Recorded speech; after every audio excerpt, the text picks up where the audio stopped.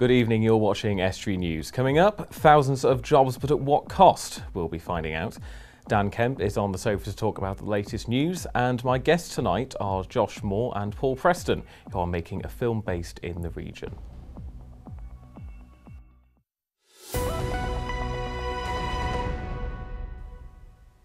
Welcome to Estuary News. I'm Richard Morris. Now it's over to Dan Kemp for the news headlines.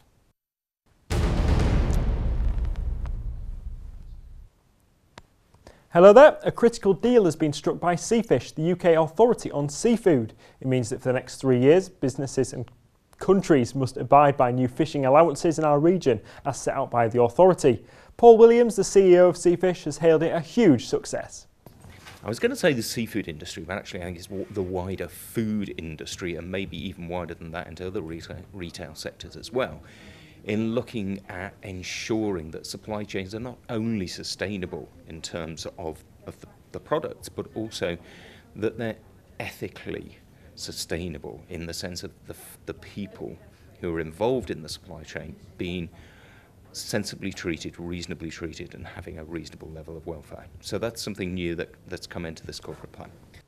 Former Lord Mayor of Hull, Mary Glew, presented cheques to her mayoral charities yesterday. Matthews Hub for Young People, the Women's Centre on Preston Road, and the Teenage Cancer Trust Unit at Castle Hill Hospital were all beneficiaries of £28,748 worth of money raised during the Lord Mayor's centenary year. Councillor Glew said she was delighted to present the cheques. Yes, wonderful, isn't it? So in 11 months, 22 events, we uh, raised that. I, uh, I think that people, hundreds of people in this city have supported the events and I thank them for their generosity.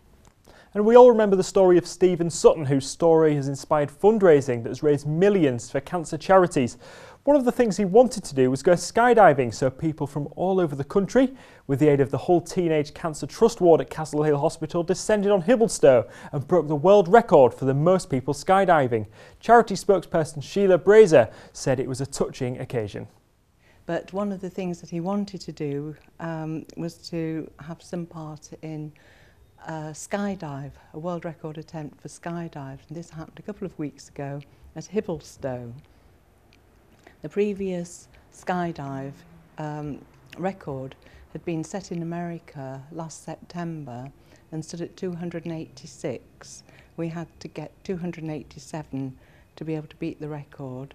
We got 403. And that's all from me. You can get in touch in the usual ways, phone or email. Bye for now.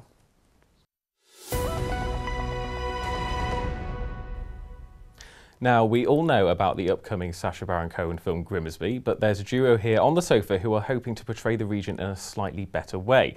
Josh Moore and Paul Preston are from Wingmen Films, and their first production is called, conveniently, Wingmen. Hello to both of you. Hello. I just want to say um, it's a co-production between Wingmen Films and Shoot J Moore Films, which is Josh's company.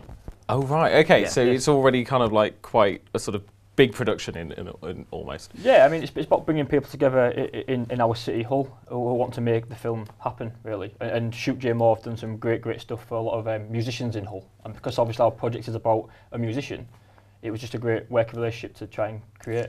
So tell me a little bit about how the project started. You know, how, how, how did this all get going, really? Well, um, me and my friend Adrian Louth, we've been involved in writing short films for the last um, five years. We started off doing plays and moved to short films, and we always wanted to do a, a feature film. And we came up with the idea for the concept about a year ago about a, a wannabe rapper trying to make it in, in the industry. So in about January time, we committed to, to write this script, and we met the BAFTA-winning producer, um, Chris Hees, who's from Hull, and he was really supportive in helping us to make that first step of like telling people we are going to make this film. So then we sat down and we brought in another writer because me and Adrian are also acting in the film. It was important for us to, to bring in another writer to, to help challenge us a little bit because subconsciously we might not write to our, our we might write to our strengths and not challenge ourselves. So we brought in a new writer called Kofi Smiles and we developed the script. Um, it came in a, a bit too long to begin with, so Chris helped us shorten it a little bit.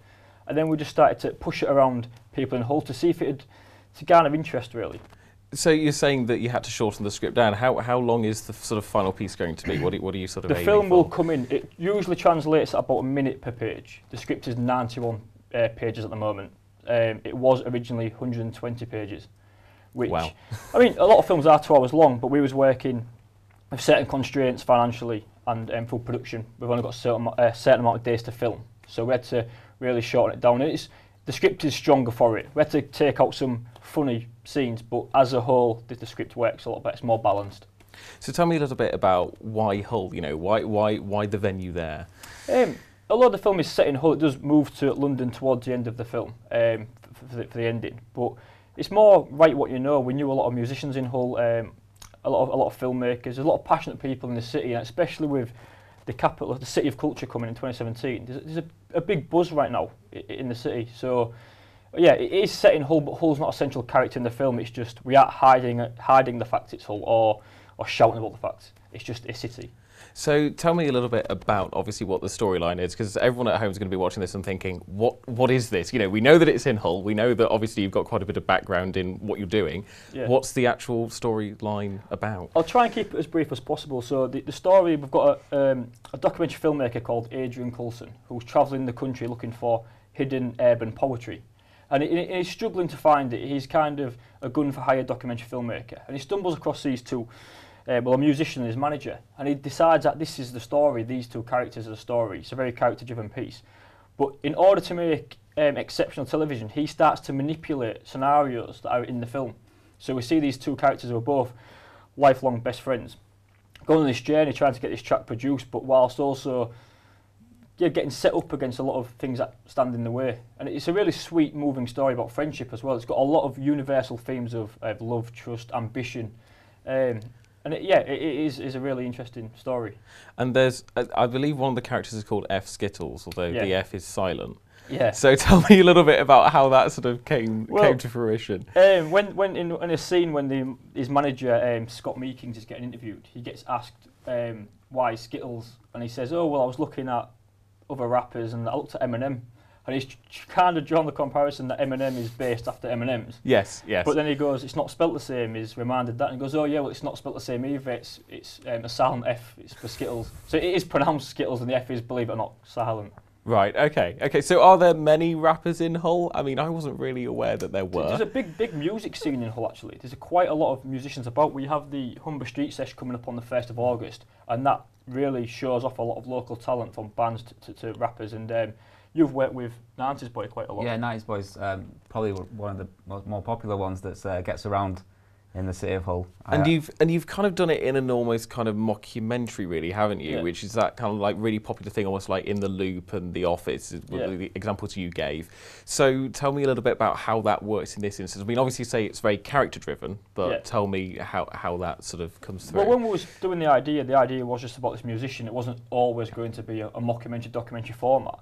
And then we started to look at how can we film it in such a way where we can film a little bit quicker than y- you would a normal film, so there's less set up. And we started looking at a documentary angle, and this film wouldn't work now as a standard piece of fiction. It, the mockumentary format really lends itself to the story um, as well. So that's how it came about. Was more to do with the the necessity to film quickly that idea came about, and as we incorporated it, it just it just became better because of that mockumentary style. Right, thank you so much. Don't go anywhere. We're going to come back to you in a couple of minutes. So, uh, you know, we want to hear more. so stay there. Uh, you're watching Estuary News. Coming up later, we find out what's happening in the local news with Dan Kemp. And the very same man will also bring you all the sports news.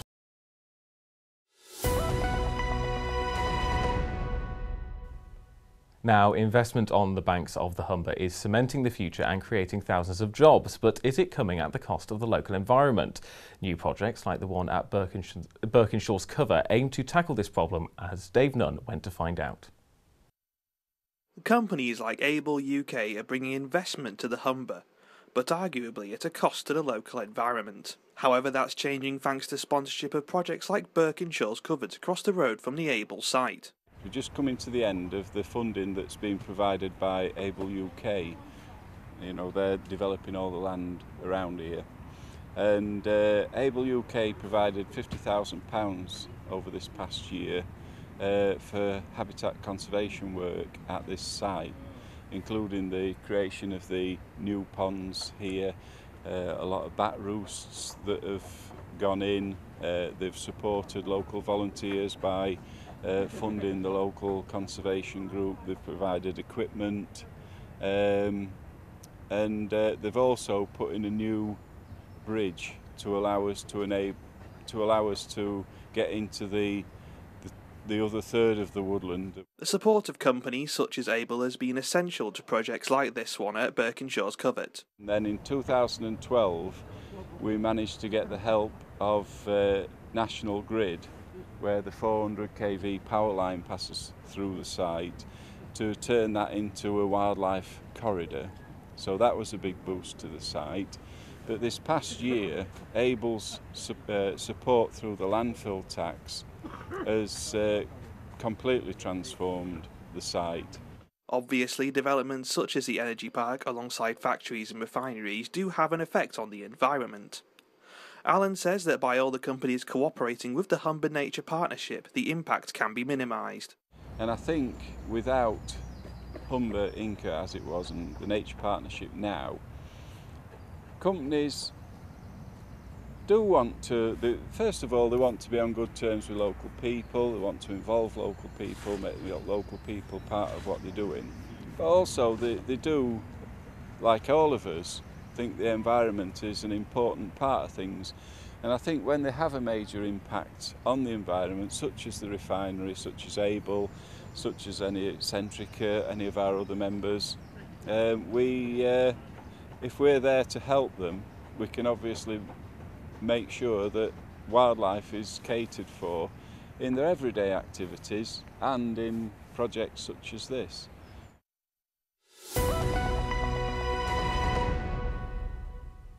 Now, still with me in the studio are Josh Moore and Paul Preston, who are making a film in the local area. So tell me a little bit about the filming techniques that you're employing for this, because obviously it's that kind of mockumentary, almost like interview style thing that you're that you're aiming for, yeah. really. Well, yeah. So, so what would what we're looking to do is, is to, it's very sort of run and gun style. It's it's reacting to what happens that you don't expect. You know, so you you be felt it's it's going we're just going to have a cameraman and a sound man, and uh, that's it really. And the director's obviously going to be watching. Um, that's basically how these things are filmed. If you watch something like a Louis Theroux documentary, it's going to be very similar to that where you've just got one person asking a question and they're interviewing. So. so if people are watching at home, they're expecting you know huge you know camera crews to sort of go and invade Hull city centre. That probably isn't going to be happening. No, no. as, as Paul said, we're looking to do this um, to make it as easy as possible to shoot it in the time we've got, and shooting it this way is, is definitely going to make that a lot easier for us. So obviously, because it's you know very character driven, you're looking for sort of very lovable characters. You're looking for people who are really going to stand out on screen. So tell me about how the character development started, really. Yeah, the character development at first started off quite two dimensional. Um, one character was a bit of an idiot, the other one was the brains behind the, the pair. Um, and as we started to, to do a backstory with our writer Kofi, it started to look at what what's the weaknesses, what what faults do these have because they're only human beings, and how they both rely on each other. And I think the friendship is the lovable aspects of, of these characters. I think people are really attached to the friendship between them both, rather than each one individually. Because there is there are these parts in the film where they are separate, and you start to see the real characters come out when they're both separated from each other. But as I think it's the friendship that is really sweet and and lovable. And they're quite, they are sort of quite inept though at what they do, but obviously you're aiming more at the friendship, but they're also quite bad at what they're attempting to sort of do, really, aren't they? Well, yeah, you will find out at the end whether they're good or bad at what they do. It's, um, I think it's the, the friendship and the, the the positivity that they give each other and the confidence that they give each other. That's what drives them forward, and it's it's kind of there's a line in one of the characters, Dale. He says he's all about the journey, not the destination. So he just enjoys each day by day, whether they're going to succeed or not it's not about the goal for him. It's all about the destination, uh, the journey. Sorry, but the other character is the opposite. He's like, let's just get to the goal. Let's, we've got to get there. That's where everything lies at the end of it. So when they do get to the end, it's, it's interesting to see how it plays out. So it's quite a small team, but what kind of budget are we talking about? I mean, is it actually a surprising amount of money in sort of small or big terms? There's definitely a, a monetary value attached to it. I mean, we've got a lot of stuff in kind, like we've got the van hire has, has come uh, for free for us, which would have been a massive chunk of the budget because it is like a road move where There's a lot of transportation from A to B. Um, a lot of stuff, we've got the office space, production space, and also locations. They're coming. A lot of people are helping us with this. A lot of music we're getting for free as well. Um, so th the monetary value would be a pretty sizable budget, but because we're putting it around to local businesses as well, it's we're getting a lot of uh, sponsorship, so it's, it's really helpful at catering. We've got a few days catering um, supplied to us as well. And you're also looking at the possibility of extras as well. So if people are watching this at home and they're thinking, how on earth can I get involved in this? How, how can they go about doing that? Um, the, the best way to keep up to date with what's going on with castings and extras is the Facebook page, which is facebook.com forward slash wingmenfilm.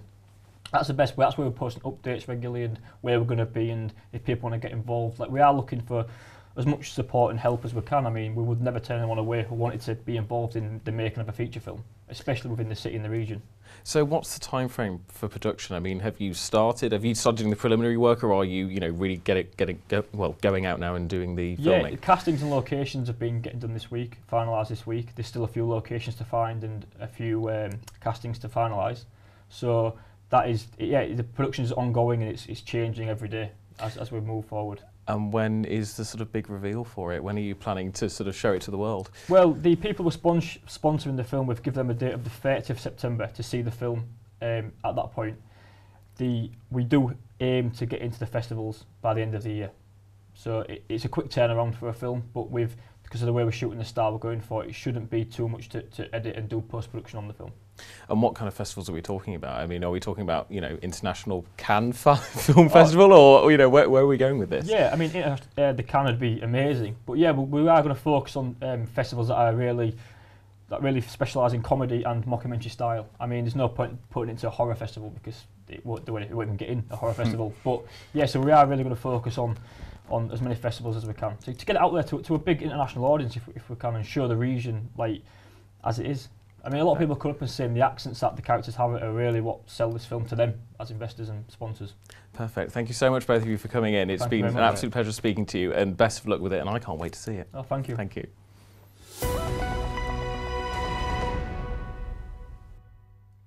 Now he ran through to the studio after the guests left. It's Dan Kemp with the latest local news. Hello, how are you? Good evening. What's so funny? I don't, I don't know. You, you, you just make me laugh whenever you're around. Um, tell tell, tell me what you've. It's, it is a compliment. Tell me what you've been finding. I'll take it as a compliment.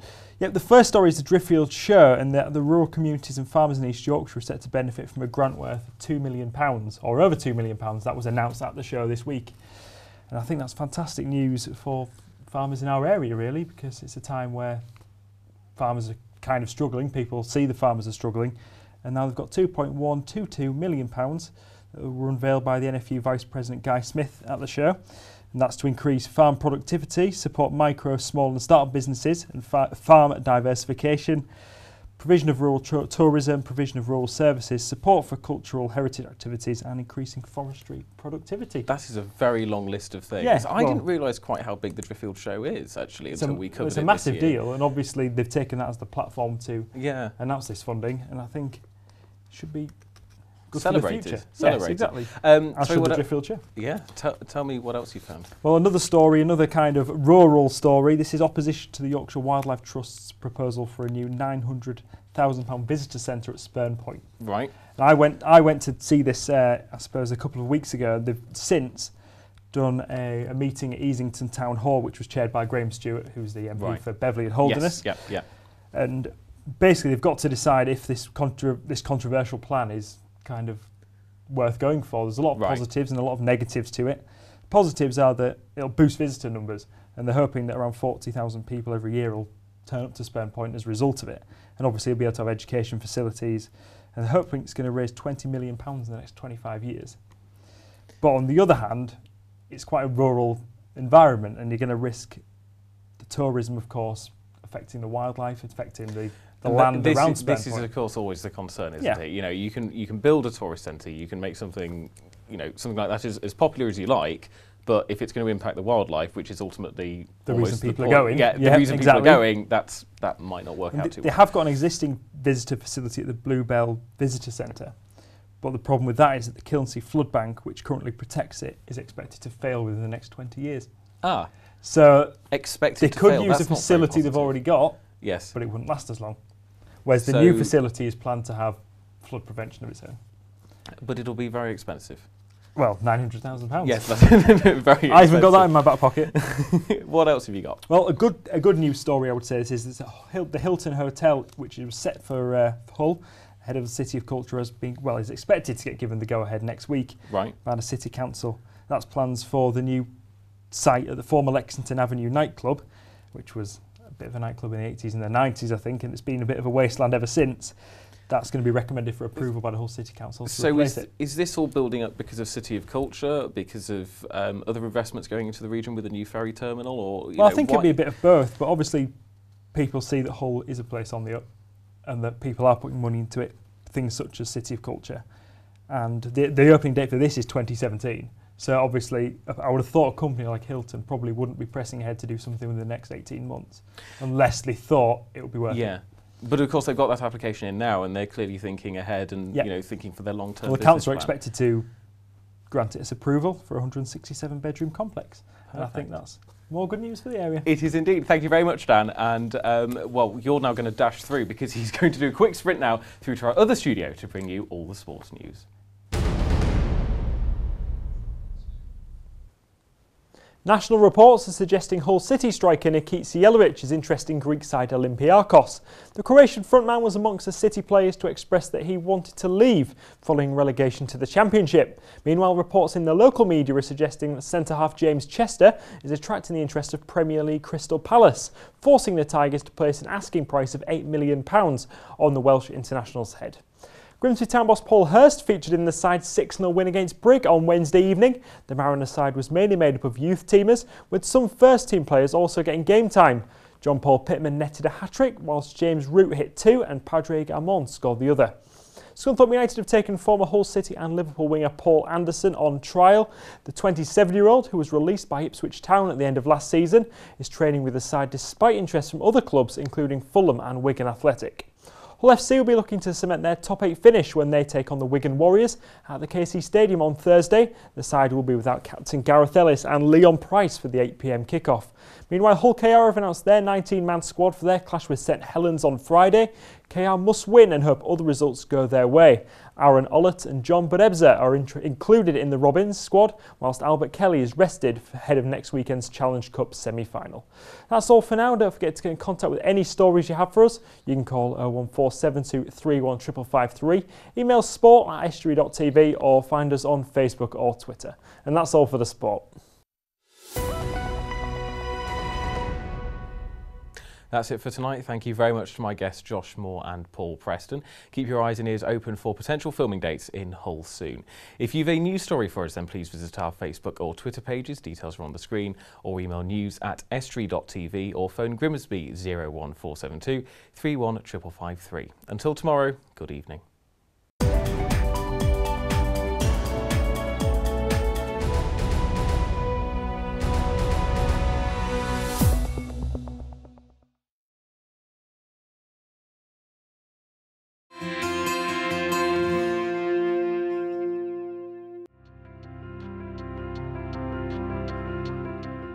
Hello and welcome to Estuary TV's weather.